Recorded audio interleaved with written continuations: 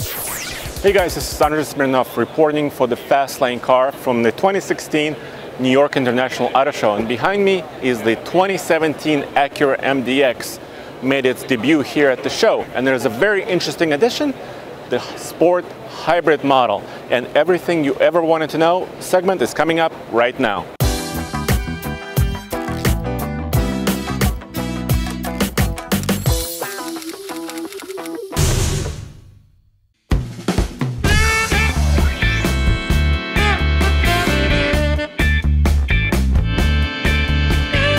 So here we are uh, with the 2017 MDX. Uh, basically a mid-cycle model change for us, but an incredibly extensive one. The most noticeable thing is new grille um, that we introduced in Detroit on our Precision Concept. But on top of that, under the hood of this of this vehicle here, this is a new hybrid model for the MDX. So it's very exciting, uh, balancing 35 more horsepower. This is a 325 horsepower car, but seven miles per gallon better. So it's a, a really exciting new model for us. Yeah, can you go over the driveline? I mean, I think this is kind of where the big story is. Right. Right. Yeah, so we, we pride ourselves on having um, one of the most advanced uh, hybrid systems in, in the industry, uh, combining both hybrid, uh, hybrid fuel economy, lots of horsepower, and then all-wheel drive and torque vectoring. And so this system here basically has three different motors. There's one that's uh, sandwiched between the, uh, the engine uh, of the car and the, and the seven-speed DCT transmission. But more importantly, there's two in the rear, and each of them independently controls each of the rear wheels and can add or subtract power basically uh, for handling, for traction, and for all, all kinds of different situations. And it enables the customer to have an incredibly smooth ride, but more importantly, a really fun ride. And so what's the total horsepower number? So total horsepower is 325. Okay. Uh, about about roughly a little bit less than 70 horsepower from electric, and the remainder from the uh, from the gas motor. Should we go inside? Is there Yeah, a let's do it. in there? Let's do it.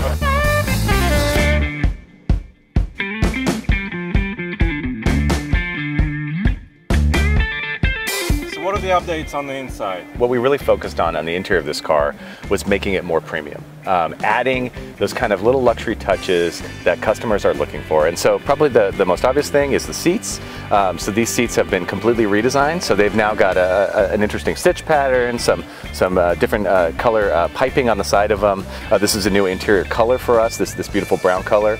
Uh, on top of that, we've put some of the most uh, premium wood that, that we could get our hands on uh, in the car. And so this is, this is a wood we call olive ash. Uh, it's a beautiful satin finish. And so this will be on all of the, uh, all of the upper models uh, of the MDX. Um, some new features. Um, there's a new surround view camera system that ena- enables the customer to get a 360 degree view all around them. And one of the things that, that we're really, really excited about, and this might be kind of invisible to the customer to some degree, but but we're actually uh, putting our AcuraWatch system standard on this car. So what that means is not just crash avoidance technology, but even uh, what some people call semi-autonomous driving. So actually the ability to keep a car in its lane, to change the speed of the car, um, standard on every MDX, even even the uh, even the lowest priced uh, model of it.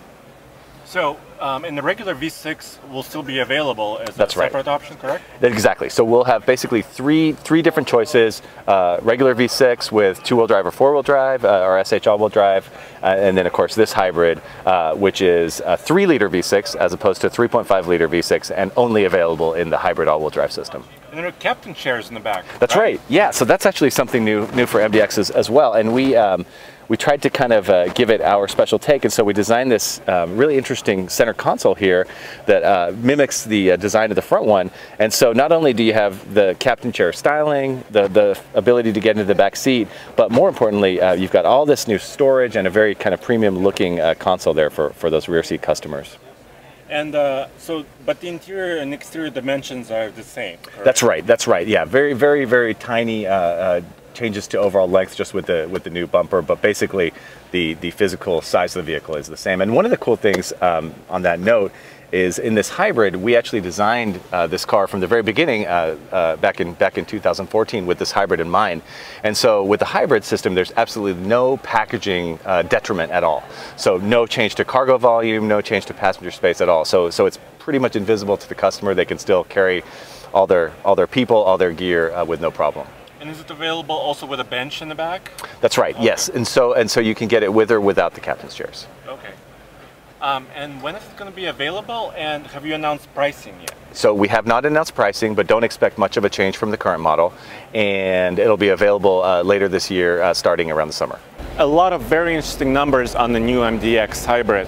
325 total horsepower, and fuel efficiency that's up to 7 mpg better in the city. That's really huge. Go back to tflcar.com for more news, views, and real-world reviews, and complete coverage from the 2016 New York International Auto Show.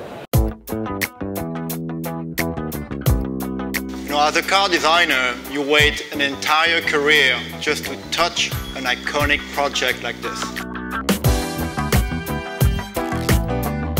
From a hundred yards away, this distinctive fastback silhouette ignites the heart of a driver enthusiast and draw a pure statement within our Kodo design philosophy. When you look at the car, the first thing you kind of notice is uh, a lot of horizontal dynamism.